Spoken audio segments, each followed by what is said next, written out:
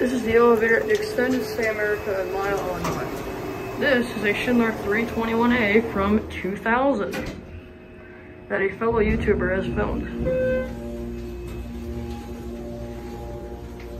Uh, sadly, the indicator's burnt out, and this has been replaced.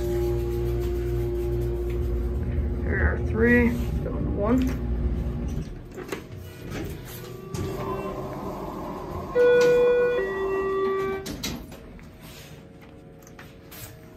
Like stops. Jesus, door has issues. Cab view. Basic Schindler HT elevator. Oh, stop that too.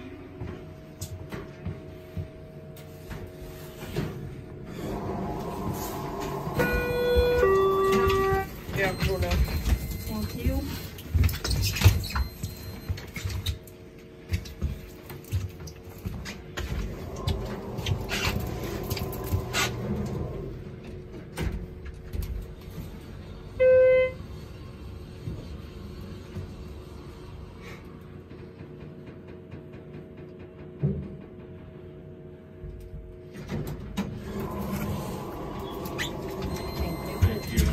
Problem.